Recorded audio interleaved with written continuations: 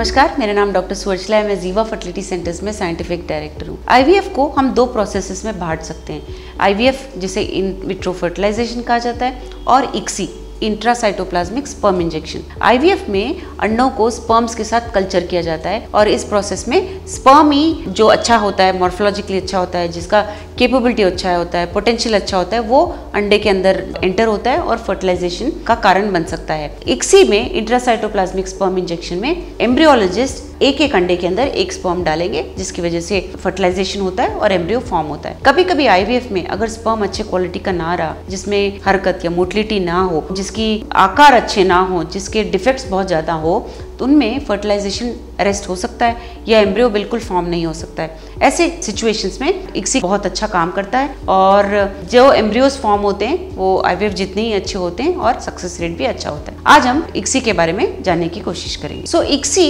बहुत कारणों के लिए किया जाता है बट दो मोस्ट इंपॉर्टेंट कारणों के बारे में मैं आपको बताऊँगी। एक तो है पुअर सीमन क्वालिटी सीमन यानी स्पर्म क्वालिटी सीमन में जो स्पर्म्स होते हैं उसका क्वालिटी अगर अच्छा ना हो क्वालिटी का मतलब है कि नंबर बहुत कम हो मोटिलिटी यानी हरकत ना हो बिल्कुल, बहुत कम हो, आकार बिल्कुल अच्छा ना हो, ऐसे सिचुएशंस में इक्सी बहुत अच्छा फर्टिलाइजेशन रेट देता है, बहुत अच्छे नंबर ऑफ़ एम्ब्रियोज फॉर्म होते हैं, जिससे एम्ब्रियोलॉजिस्ट को आसानी होती है कि कौन सा अच्छा एम्ब्रियो है, कौन सा गर्भ के अंदर डालना चाहिए, कौन सा अच्छा नहीं है और किसको डिस्कार्ड करना चाहिए। तो ये प्रोसेस उन पेशेंट्स के लिए बहुत अच्छा है। लेकिन सबसे महत्वपूर्ण बात यह है, जिनके स्पर्म्स नहीं होते हैं, जिनको स्पर्म्स टेस्टिस में तो तैयार हो रहे हैं बट वो बाहर सीमन में नहीं आ पा रहे हैं। ऐसे पेशेंट्स को अजूस परमिया के शिकार कहते हैं।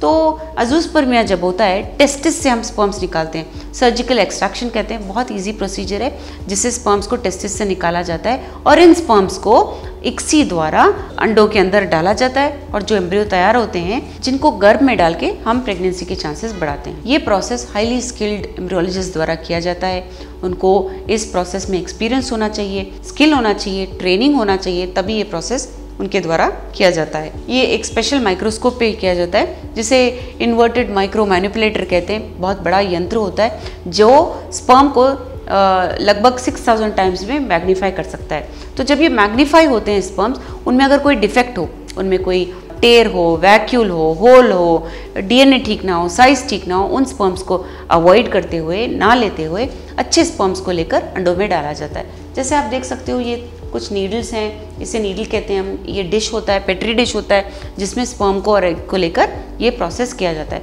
ये बहुत एक स्टराइल प्रोसेस है, ये जो लेबोरेटरी है, बहुत स्टराइल लेबोरेटरी होता है और बहुत स्पेशलाइज्ड लोग ही ये प्रोसेस कर सकते हैं। यहाँ देखिए, एक सिंगल लेग को इन, इस नीडल में लिया जा रहा है। इस नीडल को एग के अंदर डालते हुए और फिर उसके बाद नीडल धीरे से एग से निकाला जाता है और इन एग्स को जो स्पर्म के साथ हैं अभी उन्हें कल्चर किया जाता है स्पेशल इंक्यूबेटर्स में जो गर्भ के जैसे होते हैं जो गर्भ का एटमॉस्फेयर दे सकते हैं ऐसे कल्चर सिस्टम में उन्हें तीन से पाँच दिन तक कल्चर किया जाता है। उसके बाद जो एम्ब्रियोज तैयार होते हैं उन्हें एम्ब्रियो ट्रांसफ़र के लिए यूज़ किया जाता है। सो so, जैसे मैंने कहा आईवीएफ में इक्सी जो प्रोसेस है स्पेशली ऐसे वाले सिचुएशंस में सक्सेस रेट बहुत बढ़ाता है। अजूज परमिया पेशेंट्स में, या डीएनए फ्रैगमेंटेशन ज़्यादा हो, या स्पर्म की क्वालिटी ठीक ना हो एग्स बहुत कम हो प्रीवियस फेलियर हुआ हो मिसकैरेजेस हो रहे हो तो ऐसे केसेस में इक्सी प्रोसीजर बहुत अच्छा काम करता है। इसके बारे में और जानकारी के लिए, या आप आईवीएफ कराना चाह रहे हैं और इसके बारे में और अनुमान है आपके,